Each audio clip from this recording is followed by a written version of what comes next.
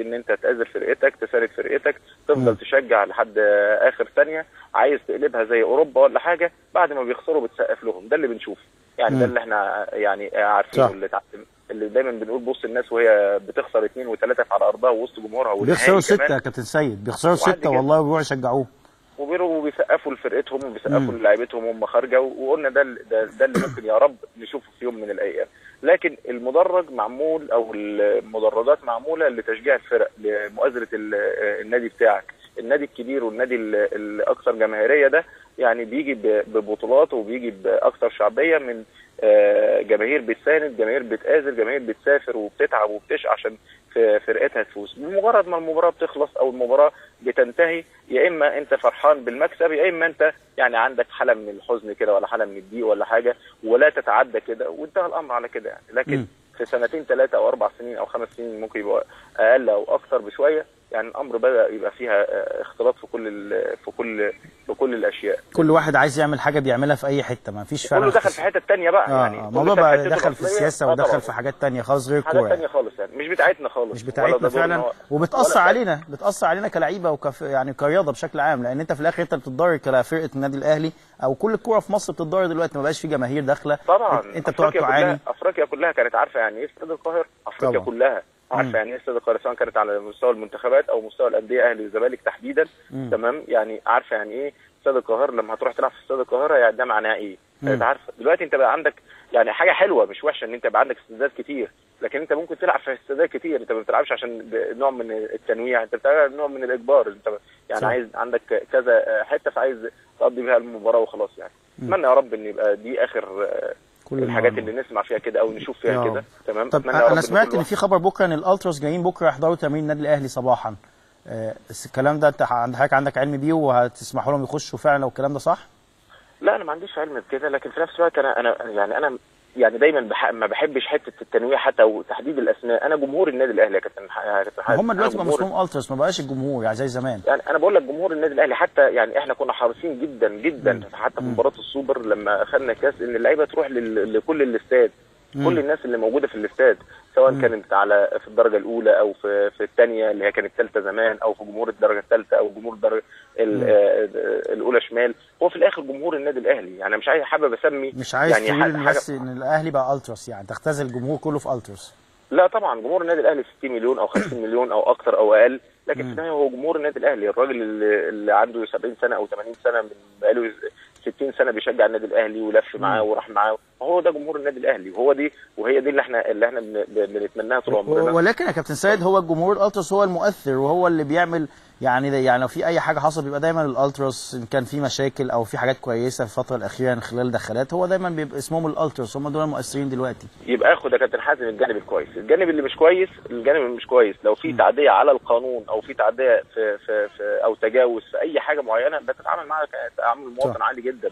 خلاص خلصت انتهى الأمر على كده يعني. أنا وأنت إحنا ناس آه يعني اصحاب واخوات وكل حاجة لكن في تعدي منك أو في تجاوز منك خلاص بتتعامل بقى يعني كل واحد تمام. لو أنت رايح في دولة القانون و و و و وتمشي صح وتتعامل صح وتت و و وطريق صحيح يبقى هي دولة القانون. تطبق دولة القانون معمولة بشكل كويس معمولة بشكل آه سليم 100% أي تعدي أو أي تجاوز ولا حاجة لا اللي غلط تحمل غلطه. صح. طب كابتن سيد ملف التجديد يعني في لعيبة مهمة دايما في الأهلي ملف التجديد والسنة دي يعني ما شاء الله في لعيبة مهمة جدا فتحي وعبد الله السعيد ومتعب أسامي كتيرة جدا. هتكلم على عبد الله السعيد تحديدا يعني كلام كتير طلع إن عبد الله برضه حضرتك صحح لنا لو كان خطأ الكلام ده مش عايز يمضي بالأرقام دي وعايز أرقام كتيرة أكتر من ده يقال هيروح الزمالك الزمالك بيرحب بيه يعني أنت راي حضرتك إيه كمدير كورة في هذا الموضوع بتاع عبد الله السعيد بالذات. وليه ما حسمش هو بكلام يعني قاطع في مؤتمر صحفي أو صح أو لقاء صحفي يقول لا أنا هقعد مثلا؟ ليه ليه الموضوع بتاع عبد الله بالذات فيه ضبابية شوية؟ خليني أقول لك يعني عبد الله شأنه شأن الأربعة على فكرة. يعني شأنه شأن نفس الحالة بتاعت عبد الله تنطبق على الباقيين كلهم. تمام؟ عبد الله من من الشخصيات اللي أنا على المستوى الشخصي وحتى إحنا كجهاز بنعتز بيها سواء كان فنيا أو على المستوى الانضباط والالتزام. الراجل لما جينا اتكلمنا معاه ما عندوش مشكلة إن هو حتى يمسك القلم ويمضي في نفس اللحظة. ولما طلب أرقام أو تكلمنا معاه في أرقام ما اتكلمش الأرقام اللي بتتقال دي خالص خالص. يمكن أنا كلمتك يا حازم مرة وقلت لك متقال 5 مليون و4 مليون و3 مليون. الرقم ده ما- وردش أساسا لا على لسان عبد الله ولا إحنا آه، اتكلمنا فيه خالص يعني. لكن لكن إحنا جينا في مرحلة من المرحله من المراحل اللي فاتت ديت وضغطنا مباريات بشكل كبير وبعد كده النتائج ما كانتش على المستوى المطلوب فما كملناش التفاوض. يعني فتحنا الموضوع مرة في اثنين وبعدين وقفنا عند عند نقطة معينة. في آه، مستحقات كمان قديمة يعني من حق أي حد إن هو بيجدد أو من حق أي حد إن هو بتنتهي عقوده إن هو يسأل فيها أو يتكلم فيها ده حقه طبعا. وكمان زي ما من حقه إن ممكن يكون عنده عروض تانية يعني ممكن يبقى عنده عرض خارجي ممكن عرض داخلي.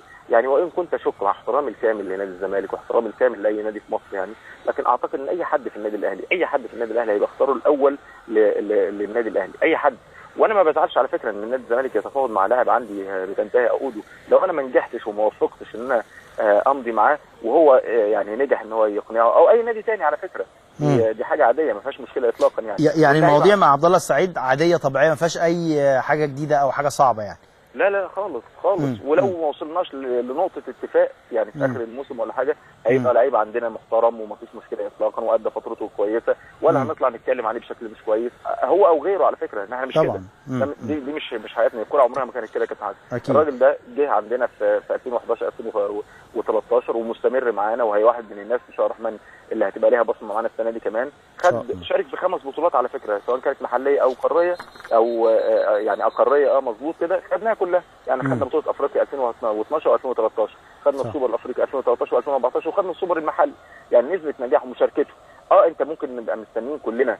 يعني مستوى جامد جدا يليق بإمكانياته وقدراته. ده ما عندناش مشكلة اطلاقا إن هو هيجي إن شاء الله الرحمن. لكن إحنا. بنعتز بيه على المستوى ال- ال- ال- الانضباطي والالتزامي والفني كمان. إن شاء الله. أنا بشكرك شكرا جزيلا كابتن سيد على التوضيح ويعني وضحت لنا ملفات كتير في النادي الأهلي. بشكرك شكرا جزيلا كابتن سيد عبد الحفيظ مدير الكرة بالنادي الأهلي.